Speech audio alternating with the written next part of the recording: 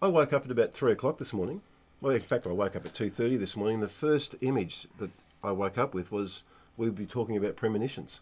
Exactly. I, well, it's, it's interesting because I woke up at midnight and I thought, yeah, well, we're going to be talking about pre- premonitions later in the morning, and lo and behold, Here we are. here we are Now, talking premonitions. This comes out of the MH17 air crash a, a week ago, where an 11 year old boy kept saying to his mother, you know, goodbye. Um, I'm a little bit worried about this flight. He had he'd clearly had a sense that something was about to happen with that flight.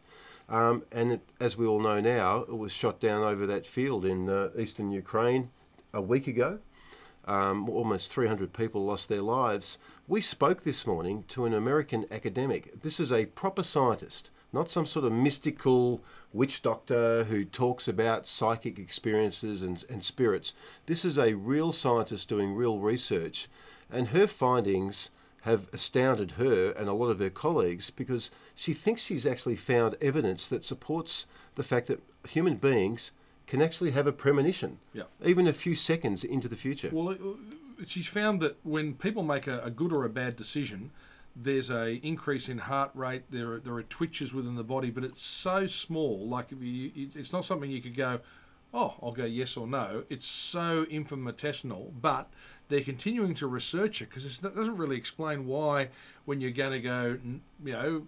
A, a, a mm. correct decision or a wrong decision, why your body would have this this little instant, tiny instant of, of, of premonition of what you're about to do. So they're continuing to look at this, and you'd be shocked to hear that she's been getting calls from people like investment bankers who want to know whether they, you know, ser- they, would be seriously wanting to know if they they can hook themselves up to a machine. So if they go buy or sell, and then the machine says buy or sell because they have a premonition of it. So.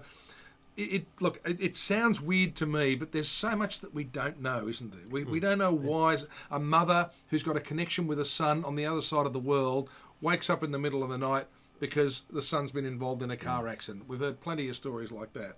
There's Oh, things we don't right know. through. There are things we don't know, but what, what I do know is this.